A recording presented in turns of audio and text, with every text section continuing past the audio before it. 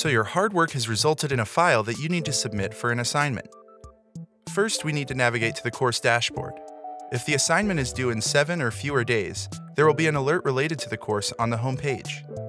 You can also click My Courses and then click the title of the course to view the dashboard.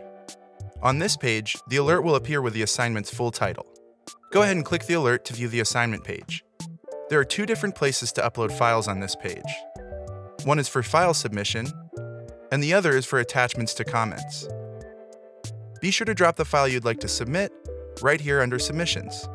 It'll automatically upload and begin processing. Once it's fully processed, you can view it right here on the assignment page.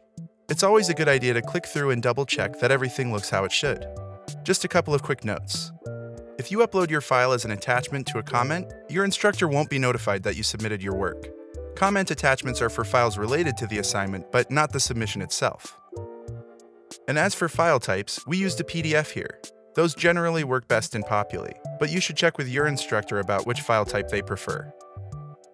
For help or for more information about using Populi, click the Help link in the top right or visit support.populiweb.com to view our knowledge base.